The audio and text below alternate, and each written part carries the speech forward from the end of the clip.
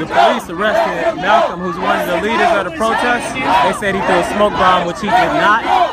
And it's a perfect example of the police manipulation and corruption by uh, falsely arresting one of the protest leaders out here.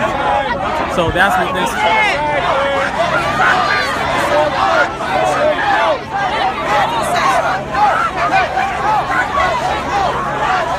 Right now, a lot of the protesters are pushing out the police because they're trying to get Malcolm released. Who's one of the leaders of the protest. People are angry because he's been falsely arrested. He's been leading the group tonight. It's been peaceful. Hasn't been any issues until the police are accusing him of throwing a smoke bomb. I don't think a leader of a protest has time to throw a smoke bomb.